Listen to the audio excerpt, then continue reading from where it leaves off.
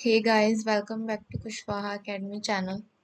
So today I am back with daily use word power words जो कि हम रोज़मर्रा की लाइफ में यूज़ कर सकते हैं जैसे कि नथिंग एल्स नथिंग एल्स का मतलब होता है और कुछ नहीं जैसे कि अगर हमें कोई कुछ ऑफ़र कर रहा है और अब हमें वो चीज़ नहीं चाहिए तो हम उसको इंग्लिश में कह सकते हैं कि नथिंग एल्स और कुछ नहीं। मतलब अब हमें और कुछ नहीं चाहिए। नेक्स्ट वर्ड है नथिंग स्पेशल नथिंग स्पेशल का मतलब होता है कोई ख़ास बात नहीं। जैसे कि हमसे कोई पूछता है कि आपका मूड ऑफ़ है या आप सैड हो तो हम उसको ये कह सकते हैं, हिंदी में बोलने के बजाय कि नहीं, कोई ऐसी बात नहीं है। हम ये कह सकते हैं कि no nothing special next word है ओके okay. ओके okay का हम सबको पता है कि ओके okay का मतलब होता है अच्छा। या फिर अगर हमने किसी की बात, हमें किसी की बात समझ आ गई है तो भी हम उसको कह सकते हैं कि ओके नेक्स्ट वर्ड है हमारा ऑफ़ कोर्स ऑफ़ कोर्स का मतलब होता है बेशक। ऑफ़ कोर्स वर्ड ये भी हम डेली लाइफ में इसका यूज़ करते हैं। जैसे कि अगर हमसे कोई पूछता है कि आपने ये काम कर लिया या आप ये काम कर सकते हो तो हम ये कह सकते हैं कि यस ऑफ़ कोर्स हम कर सकते हैं। नेक्स्ट वर्ड है पैकअप पैकअप का मतलब होता है बंद करो।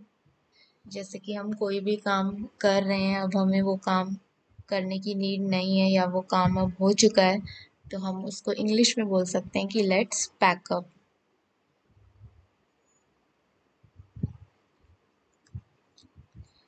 next word है रेस्ट एश्योर्ड रेस्ट एश्योर्ड का मतलब होता है कि भरोसा रखें. जैसे कि अगर हमें किसी को ये कहना है कि आप ट्रस्ट मी हम ये काम आपका कर देंगे तो हम ट्रस्ट मी की बजाय उसको रेस्ट एश्योर्ड भी बोल सकते हैं. नेक्स्ट वर्ड है see you again see you again का मतलब होता है फिर मिलेंगे। जैसे कि हमारे घर कोई भी गेस्ट्स आते हैं तो हम उन्हें कहते हैं कि ओके हम फिर मिलेंगे। हिंदी में बोलते हैं तो हम इस चीज़ को इंग्लिश में बोल सकते हैं दैट सी यू अगेन फिर मिलेंगे। नेक्स्ट वर्ड है हमारा सिट डाउन सिट डाउन का मतलब होता है बैठ जाओ। जैसे कि टीचर्स स्कूल में स्टूडेंट्स को बोलते हैं, जब वो उन्हें विश करते हैं, कोई भी गुड आफ्टरनून गुड इवनिंग तो टीचर्स बोलते हैं कि सिट डाउन मतलब अब बैठ जाओ। नेक्स्ट वर्ड है गुड बाय गुड बाय का मतलब होता है अच्छा चलते हैं। जब भी हम किसी से विदा लेते हैं या किसी के घर से जाते हैं तो हम जिसके घर से जाते हैं, उसको हम बोलते हैं कि गुड बाय अच्छा चलते हैं। नेक्स्ट वर्ड है इट्स टू मच जैसे कि किसी ने हमें ज़्यादा तंग कर दिया या परेशान कर दिया या बहुत चिढ़ा दिया तो हम उसको ये कह सकते हैं कि नाउ इट्स टू मच बहुत हुआ। हम अक्सर हिंदी में बोलते हैं कि बस अब बहुत हुआ। या फिर कोई हम पे अत्याचार कर रहा है, हम उसको सह रहे हैं तो उसको भी हम बोलते हैं जैसे कि कि बस अब बहुत हुआ, अब हम नहीं सहेंगे।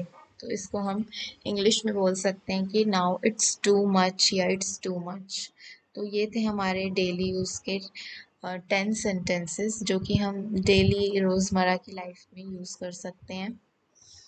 आगे भी मैं आपके लिए इसी तरह की वीडियोस लेके आऊँगी। तब तक के लिए watch my channel Kushwaha academy and like share and subscribe